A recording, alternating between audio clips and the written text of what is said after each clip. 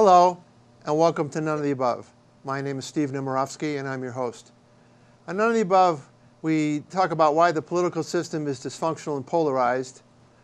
But what's more important is in every show we try and offer solutions. Uh, you know, how to, how to break down the cycle of dysfunction, how to pare back some of the extremes of the polarization. You're never going to eliminate polarization in politics. Let's face it, that's why we have politics. But you can get to the middle and you can solve problems, and our system doesn't do that very well right now.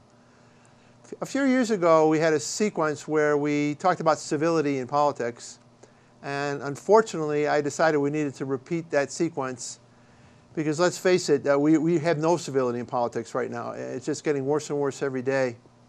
And I, so again, I thought we needed to repeat this, and we're going to visit with an old friend, Ted Celeste, who's with the National Institute for Civil Discourse at the University of Arizona, where he heads up uh, an effort called Next Generation, where they try and work with state legislators and others to try and you know how to figure out how to reinstitute civility into the democratic process.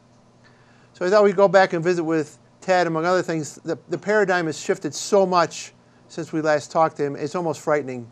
Uh, the tone, the, the use of the language, uh, the, the level of intolerance for free speech. I mean, let's face it, our democracy was built on the, the premise of free speech, but now all we do is have people go around and try and prevent free speech.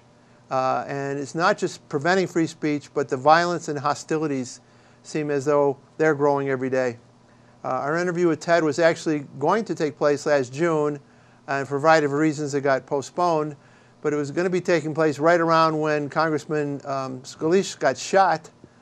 And I thought, well, we missed that opportunity because we would have had a hot topic. Well, lo and behold, now we're a few months later and we have Charlottesville we have some of the recent developments in Berkeley. It seems as though anytime I would want to interview Ted Celeste, uh, there's a, a, violent activity in our political discourse.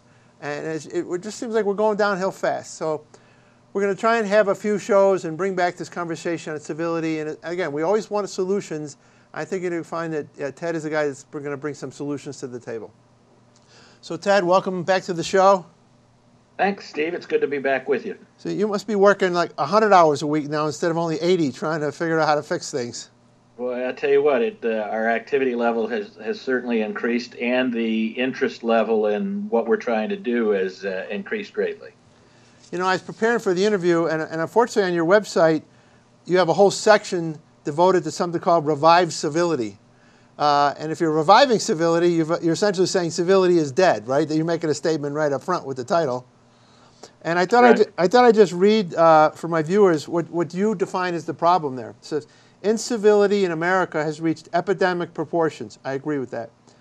Everyday rudeness, disrespect, and hostility, again, very strong word, sideline collaboration and compromise. Sound bites replace sound journalism. Extremes on both ends of the political spectrum stymie productive dialogue.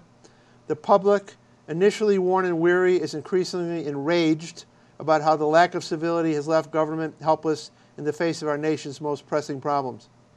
And then it goes on to talk a little bit about how last year's campaign for president really impacted this as well. What, what are you seeing in your end? What's, what's been changing over the last couple years? Because five years ago, you thought there was a need for this, and now there's an exponential need for this. Where, where have we gone wrong in the last five years? Well, I think one of the things that happened is, is last year's presidential campaign raised the level of, uh, of the um, discussion to beyond civil discourse into a, a plane that we haven't seen for a long time. And what it did as a result of both that, that uh, um, combination of the, the uh, carrying on between the two candidates and the election itself is that you, you've changed a dynamic that where it used to be that individuals were would would be hostile towards a candidate or towards an elected official. But right now, what's happened is they've carried that hostility out to supporters of the candidate that they, they didn't support, and and it's now created massive problems for families, for churches, uh, for friend friendships, where this hatred has gotten to a point and and vile feelings has gotten to a point where folks cannot have a real conversation with people who used to be friends or family. So you you you you're doing great work there at the institute.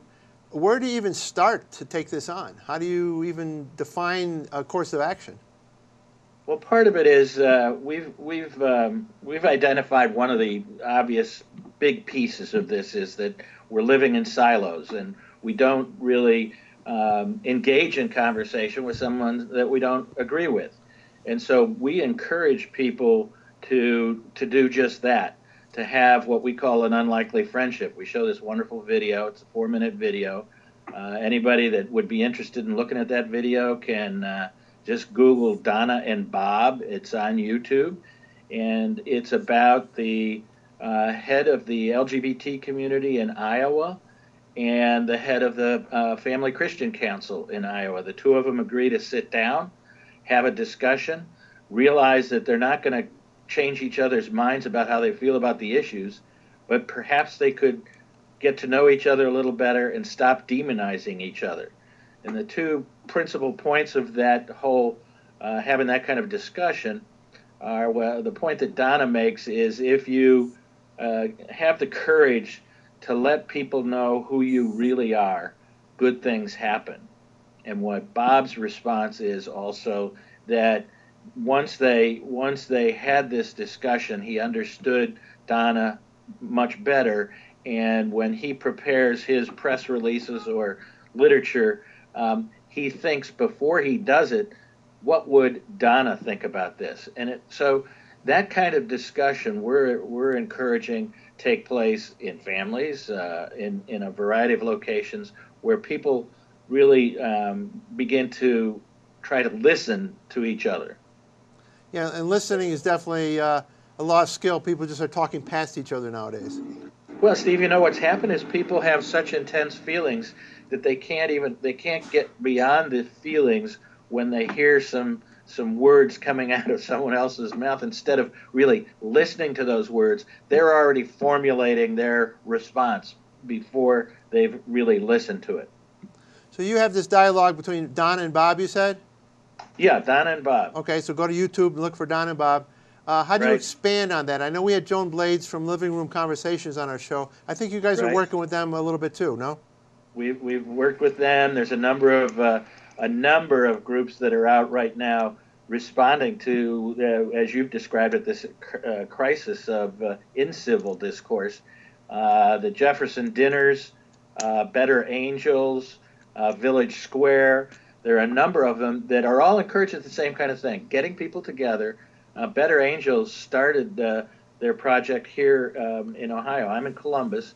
Here in Ohio, um, earlier this year, they had 15 Trump supporters, 15 Clinton supporters get together for two and a half days, really work at trying to understand each other. And that was going to be, you know, the, the point of the effort.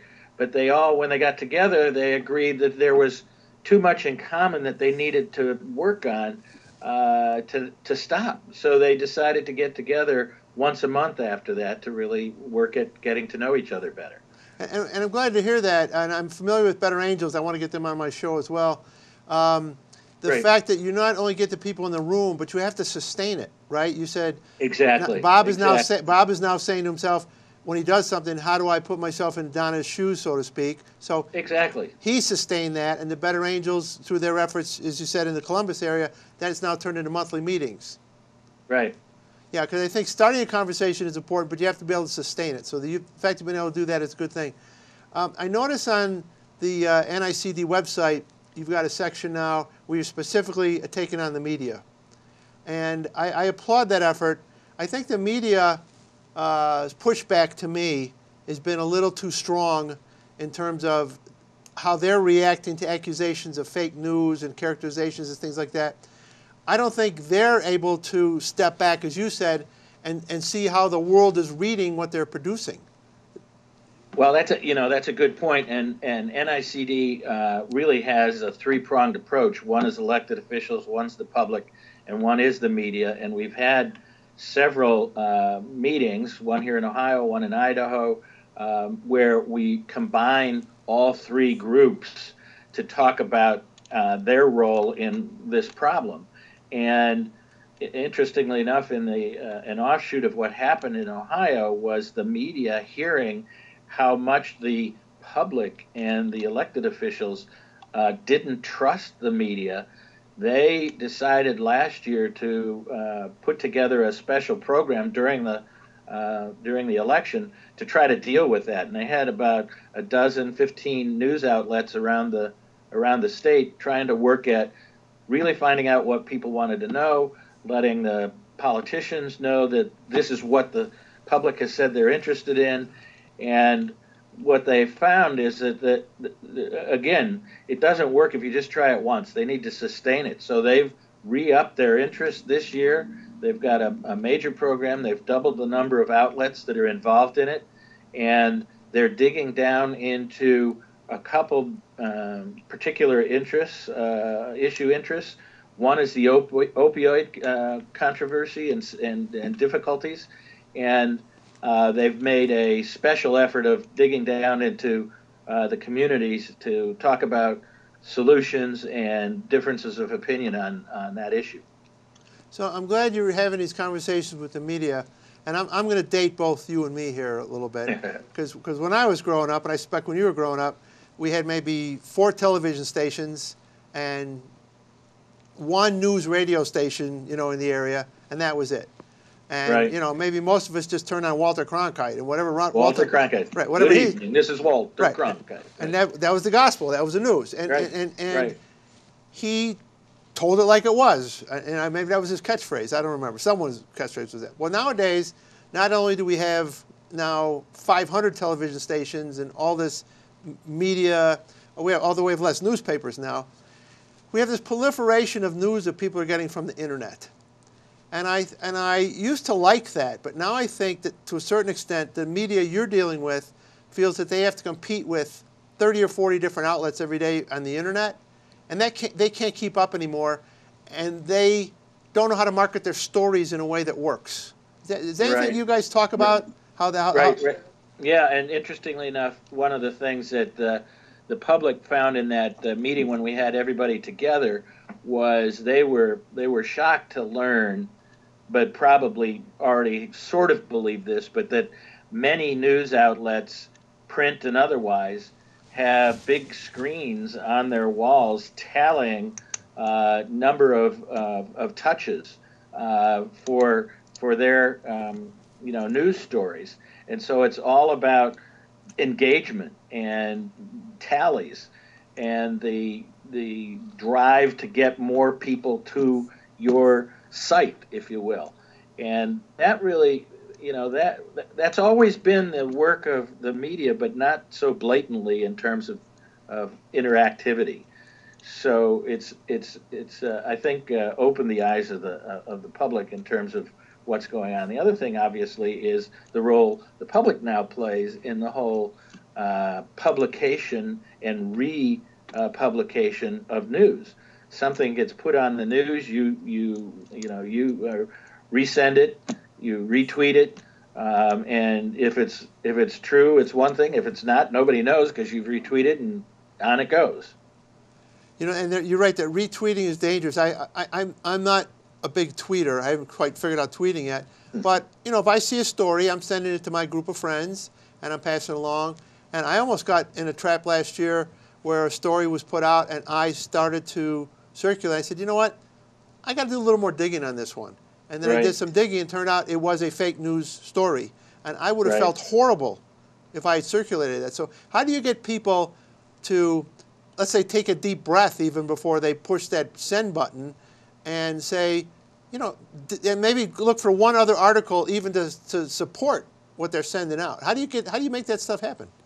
Well, that's a good point, and that that is one of the things that we're working on and and providing some tools for people for just that very purpose to take a breath, to step back, to look for alternative uh, sources, uh, to to check the sources, to uh, um, really get people a little more involved in the process. Again, take, taking a step back from where your uh, your anger starts to raise, and that's that's always the potential uh, problem area. So, in fact, what, I- know you've put something together on your site, and it's, it's fascinating to me and, and scary at the same time. We even need this. It's called the Citizen Toolkit. So, Right. you want to walk people through how the origin of that, and, and, and maybe tell my viewers how to find it and what do you expect them to get out of it? Um, sure. The the really what we're trying to do is there's a there's a couple things. Um, interestingly enough, we've we've had a program that we created uh, actually for for another area on mental health uh, called Text Talk Act, and it is a way to involve not only uh, young people who are used to texting, but also f- folks who are who are now uh, experienced in texting to get involved in, uh, and we've we've got the program called Text Talk Revive Civility. If people would uh, text the word civility to eight nine eight zero zero, they are taken uh, to a prompt that gets them engaged in the process that gives them some of these tools. Um, uh, it actually starts out with the video I mentioned, the, the Donna and Bob video. Um, it's a way to engage people in small groups for part of this process as well as an individual to find uh, find their source of information.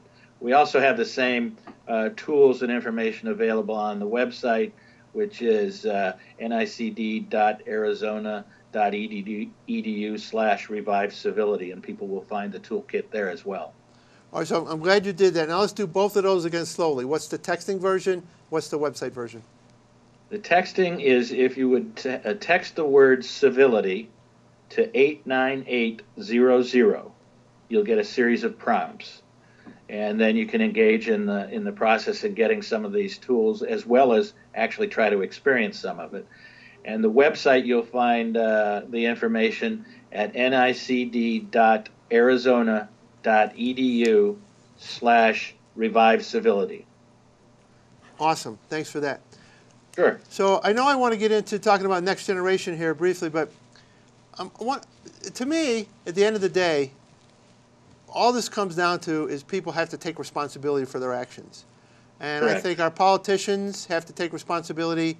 As you said, if, if the debate sequence drives some of this lack of civility, they have to step up and take responsibility. If the media, people have to take responsibility. But I, I don't find people in our society nowadays taking responsibility. They want to deflect responsibility. How do, how do we get around that? How do we get people that are going to be brave enough to step, raise their hand and say, you know what, I was wrong and I learned my mistake? Uh, how do you make that happen? It is, uh, it, it is not an easy process. You're talking about cultural change. That's part of the whole process we're using with Next Generation. You've got to create an environment where they feel safe, that they could, number one, admit they might be wrong, uh, be willing to listen to someone else's opinion, and it's a it's a process of building trust, and uh, that's actually what we call our workshops in the Next Generation program, building trust through civil discourse, giving people a comfort level that they can uh, that they can share information. I remember when I was growing up. Again, I'll take us back to a time when you and I were growing up, at the same period of time, and I'm sure uh, you heard this all the time. The, the, you would say, "Well, he started it." right? Right, right. He started it, but that's yeah. all I hear nowadays. Um, right. You know, if, if there's a vi- if there's violence, well, they started it. it. It's not that hey, wait a minute, I was wrong because I responded to it. They started it, or you know, yeah. people like to attack President Trump. He's a, uh, the the, uh, the favorite fodder for a lot of media outlets, and again, well, he started it, and I, that's yeah. maybe a little different slant on taking responsibility, but how do we get people away from that mindset where their first reaction is, he started it? That no, it's not, I'm off the hook. I didn't start it. Yeah, and you know, it's it's also kind of the same reaction. Uh, you, you, you mentioned this uh, in the beginning here in the introduction that what what's happened is that the the freedom of speech issue. You know, um, we all believe in free speech unless it's something that we uh, we don't want to hear, and and then maybe some people feel a little differently about free speech and so it's it's a it's a, a willingness to understand that we're all in this together and you know you while someone might bring it up first uh, or or whatever you know you just have to stand back and say okay i'm a part of this and i want to be a part of the solution and, and lastly i want to get to the next generation ted what's your organization's theory on on the, the, the way this has become so violent is there, uh, how did, how did we go from well, just being uh, uh, incivil to becoming violent? How did that happen? Well, you know, part of that is in the use of the language that we've been uh, talking about. That the the words do matter, and so once you start encouraging uh, people to um, react in an irresponsible way, that raises the level. And once some folks, you know, start doing that, then the other side takes that as a as a reason to up the ante on uh, hostility. And so the hostility does turn into violence, as you as you talked about, as we saw what happened uh, in Charlottesville. And I think that that's um, you know that's the, a real danger of where we are right now is that the um, it, it's just a one-upsmanship, and I think that the, the goal is to kind of bring the rhetoric back down, and the, hopefully, a result, the behavior will be brought uh, down as well. Now, to the extent you're working on solving these problems the next generation within the political class, um, right. to the extent the political class will not rise up to do what they have to do, do you see um, others filling that void? On our last show, I know you were in touch with a lot of religious groups that were trying to fill the void, maybe business leaders. Are you seeing that happening? The, the, the lack of uh, discourse on the political side, at least others wanting to step in to solve the problem? Yeah, I think very much what's happening is, uh, and that's the response we've had to the revived civility effort, is that um, a lot of uh, groups that have been involved in this work in the past, but not to the great degree that they're getting involved now, whether it's, like you mentioned, church groups, um, and we've had uh, the faith-based community has really responded and responded in a big way.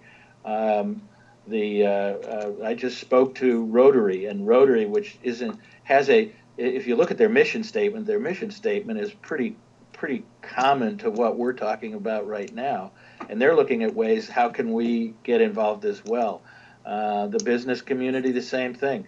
Not only is the business community looking at, um, you know, introducing civility to, to the in the political environment, but their own environment. They they have their own issues within uh, the the business sector. So, I think it's something that everyone is trying to deal with, and it's one of the things that uh, NICD has tried to respond with tools that can help them do that. So let's flip over to your baby, next generation and Yep. talk about some of the stuff specifically you're working on. Uh, you know what, what what next generation is and how it's going about solving problems. So, uh, you know, when we first talked, I explained uh, Next Generation was something that I created and took to NICD back in 2012 while I was still in the legislature.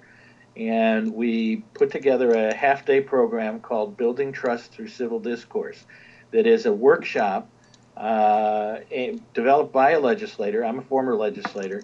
Uh, I was a representative here in Ohio for six years. And we've, we've trained 40 legislators, Republicans and Democrats. Everything's bipartisan. And uh, those uh, legislators who are facilitators go into other states at the invitation of the other states to hold these half day workshops. Since uh, we started in the summer of 2012, we've had 22 workshops in 15 states. Um, we've uh, worked with uh, and had over uh, 500 participants from uh, legislators from uh, over, uh, as I said, 15 states. Um, we've one of the things that's resulted out of this process is a group of legislators of, of those that have participated of 100 legislators from 30 states who are um, committed to civil governance and have formed a national network. Um, that national network has uh, been active in sharing ideas that have worked and sharing best practices and coming up with civility resolutions that could be introduced into the legislature and uh, providing some experience for other uh, others to emulate. We've um, we we focused on as as you pointed out. This is not a one-shot deal. We don't want to go in, do this uh, workshop, and then have that be the end of it. We're looking for sustainability. Indeed, we'd like to try to do something to institutionalize it if we can. And in a couple states, they've done that, and uh, it's it's it's pretty exciting to see. Another change is we we worked with initially people who were passionate about this, but not necessarily the leadership.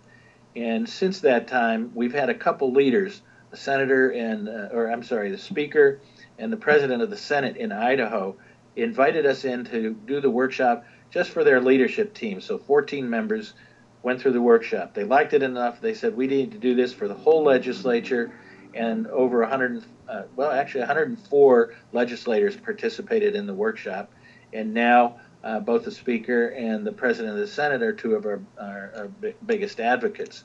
And we've we've also been invited to uh, do the workshop by the speaker in Arkansas or the president of the Senate in Oregon, and we've begun to work with a program called the State Legislative Leadership Foundation, which, um, together with the National Foundation of Women Legislators, we put together a program where we invited leaders, a Republican and a Democrat leader, and they needed to find the you know the the leader that they could bring to come work with them from 12 different states. So we had 23 legislators uh, participate in a workshop uh, aimed at introducing them to this concept with the goal of having our workshops brought to them. So leadership is key. Next week, uh, Ohio is hosting the Speakers Conference. Uh, legislative speakers from 30 states will be here in Columbus, and we're going to provide uh, an introduction to the workshop at that session as well. Well, well Ted, you're a great guest, and, and your, your, your work is tremendous. Uh, you're, you're certainly one of the leaders in this area. You know, you, you, you, invented Next Generation, and the uh, Institute is doing great work. So thank you for being a guest, and I hope you put yourself, I hope you put yourself out of business sometime soon. Yeah, well, that's the goal. It, it, may take a little longer than we'd all hope, but uh, that is the goal. Thank you for having me, Steve. Sure, thank you. So our guest today has been Ted Celeste from the National Institute for Civil Discourse. Uh, he gave you the website, uh, nicd.arizona.edu. Go there. It's a, unfortunately a great program to look at, and unfortunately it's a great program because we have big problems. But I want you to take a look at it and let's get involved here. Uh, let's send that text. Let's watch uh, Donna and Bob. Let's get involved. If we don't stop where we're going, if we don't pare back the violence, if we don't introduce civility into our conversation again, we will never solve a problem. Because if it's hard enough to solve problems when you're being civil and you're having that conversation, when you can't even get to the conversation, that's when everything's falling apart. So on our show, we talk about solutions. I think there's some really interesting solutions for you to find today. You can always go to, go to our website at noneoftheabove.us. You can go to the station's website at Grassroots TV and uh, watch, watch the video, share it with your friends. That's a good thing to tweet. We're talking about retweeting. Retweet the show, have them listen to and watch what uh, Ted Celeste had to say. Uh, as we close on every show, if you're not part of the solution, you are part of the problem. Thank you.